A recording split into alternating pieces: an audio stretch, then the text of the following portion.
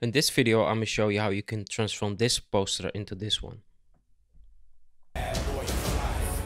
Bad boys, bad boys. what, you gonna, do? What you gonna do when we come in? Uh-uh, hey, uh-uh, no, no, never. Y'all will never do that again. Alright, let me show you first how to remove a white background on images like this. So you want to go to channels here and if you don't see these you can check window channels. And after that you want to find the channel with the highest contrast between the background and the subject. So in this case it's the blue one. After that you can drag this layer here. So we duplicate this so we don't mess with the original one. And after that i'm just gonna press ctrl or command l. Let me zoom in and like that.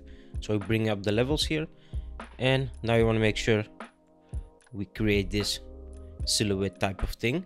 And don't go all the way there because you will get this strange border. So a little bit to the right something like this is fine for this one. After that just press ok.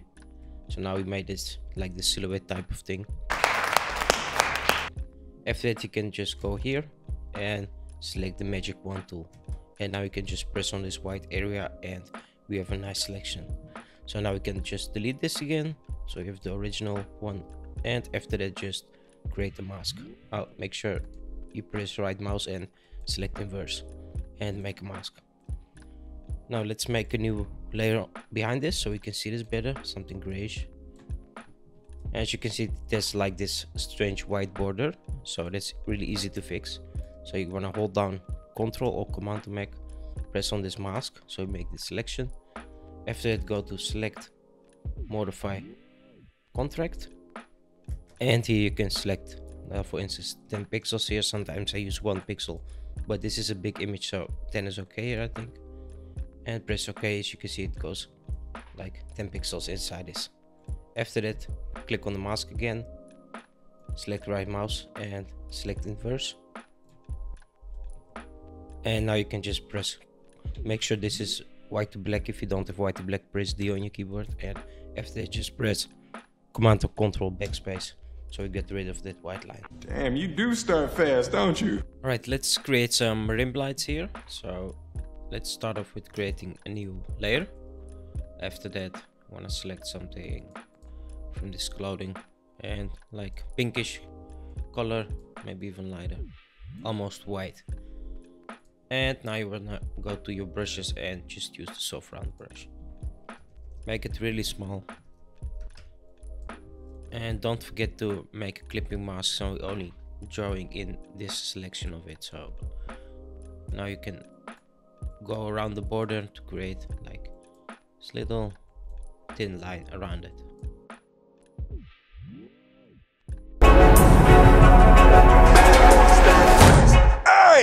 Oh, shit. Oh. Come on, man. You can get that buffed out. No, you can get that buffed out. Alright, so I got this background that I want to use for the background. So I'm just going to copy that and put it here. And now we can convert to smart object and move it up. Now this horizon is a little bit not right, so I want to make sure it's like precisely. So needs to turn around a little bit like that. All right this one double click on this and just simple this color. So that's the background and we can blur this out now. Maybe even bigger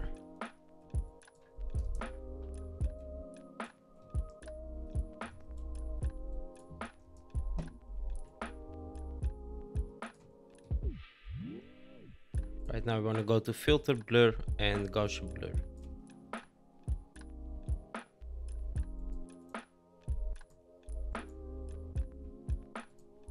Alright, this is fine and now we can do some lighting here. So I'm going to create a new layer and make some lights from this background.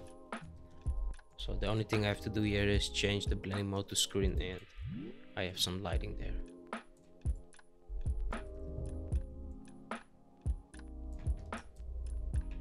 And let's make another layer and make something a little bit more orange so we can create some reflections.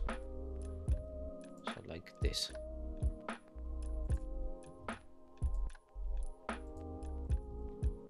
We can even do create clipping mask here with this layer so we only affect them and not the background here so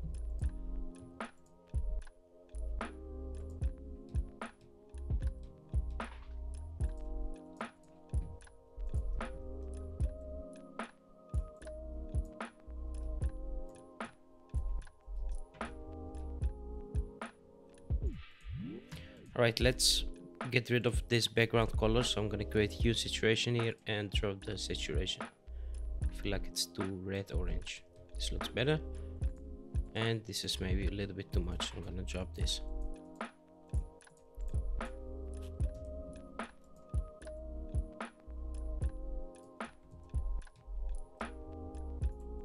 Let's make them a little bit lighter. So i'm gonna create a curves layer on top of them and increase the midtones here and highlights like that.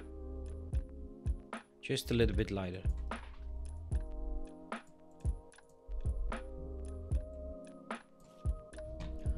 All right now you can either leave it like this or we can do this. So i'm gonna create a new layer here and press command alt shift e. So it makes a duplicated layer of all the layers. And i'm going to go to filter gallery and here I want to select cutout. Now I can create like this cartoon type of thing. So you can either do something here with these settings so maybe you want it like that. So yeah that is it for this one. Thanks for watching. Hope you like my videos. Don't forget to like if you do and see you in the next one